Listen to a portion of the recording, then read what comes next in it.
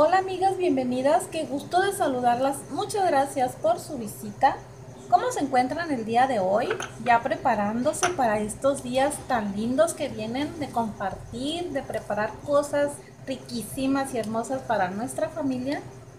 Pues hoy les voy a compartir un delicioso pastel de carne. Espero que te animes a prepararlo y que te guste tanto como a mí. Y lo que vamos a necesitar para este delicioso pastel de carne es lo siguiente. Aquí tengo un kilo 100 gramos de carne molida mixta, es res y cerdo, dos huevos, una cucharada de sal con ajo y pimienta, media cucharadita de consomé de pollo o concentrado de pollo, dos cucharadas de aceite de oliva, una cucharada de mostaza, y en lugar de pan molido yo voy a estar utilizando avena tal cual lo hacían las abuelitas. Este es un pastel de carne un poco antiguo. Una taza de zanahoria. Con esta taza he medido todos los ingredientes que van en taza. Una taza de pimiento verde picado, una taza de apio, una taza de pimiento rojo, una taza de cebolla, media taza de aceitunas rellenas. Y aquí tengo el toque especial que en lo personal prefiero poner esta salsa en lugar de leche. Esta es una salsa que ya viene preparada. Es una salsa de tomate y albahaca que le da un sabor delicioso a todas las carnes rojas. Comenzamos amigas Voy a utilizar este refractario para mezclar a gusto y perfectamente todos los ingredientes.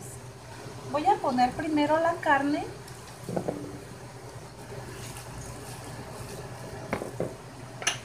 Y voy a poner los huevos y lo que viene siendo la sal y pimienta.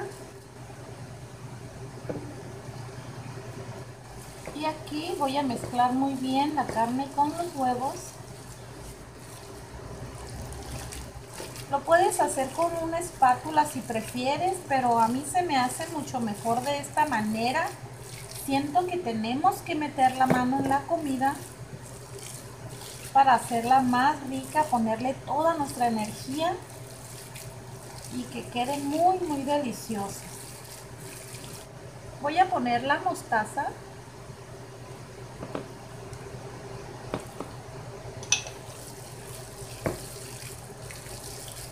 traten de calcularle muy bien a la sal, amigas. Y vamos a ir poniendo los demás ingredientes. Ponemos la cebolla, el apio, el pimiento verde, agregamos la zanahoria, el pimiento rojo, vamos a poner también las hojuelas de avena agregamos las aceitunas picadas. Miren, este frasco aquí dice que trae 280 gramos. He medido una taza de esta salsa y queda muy muy poquito. Estoy pensando si se lo voy a poner. De las dos cucharadas de aceite solo voy a poner un poquito y si creo conveniente le voy a poner el resto. Vamos a mezclar muy bien los ingredientes. Este pastel queda delicioso, amigas.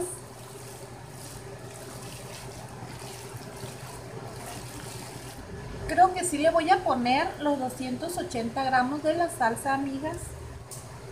Es raro que yo use estas salsas preparadas, yo las preparo. Voy a poner un poquito más de aceite. Ya ven que cada quien va adoptando una salsa que la usamos para todo tipo de comidas así tipo italianas. Nos acomodamos con una y esa es la que seguimos usando. Pero en esta ocasión no conseguí albahaca fresca para preparar yo la salsa y pues tuve que comprar este frasquito, lo probé y me gustó y se la pongo para darle la humedad en lugar de leche. Yo en lo personal no me gusta ponerle leche a mi pastel de carne. Pues ya está listo, amigas. Aquí tengo mi molde ya preparado. Le he puesto un poquito de mantequilla. Voy a ir poniendo la carne.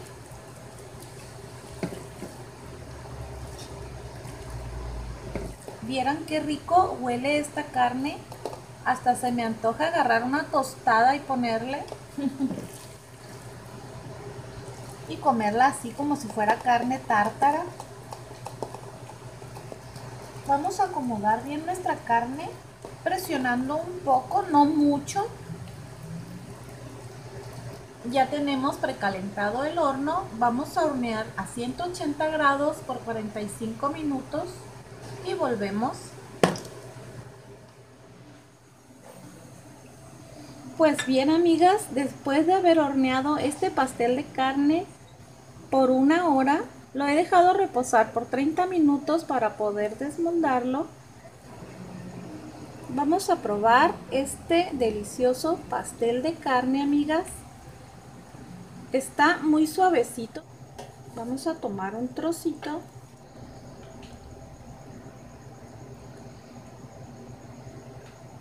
Vamos a probarlo Mmm. Mmm. Está verdaderamente delicioso, amigas. Las invito a que lo preparen y lo disfrutes con toda tu familia. Muchas, muchas gracias por tu visita. Y si te gustó esta recetita, pues te invito a que te suscribas y me regales un like. Nos vemos muy pronto en un próximo video. Bye.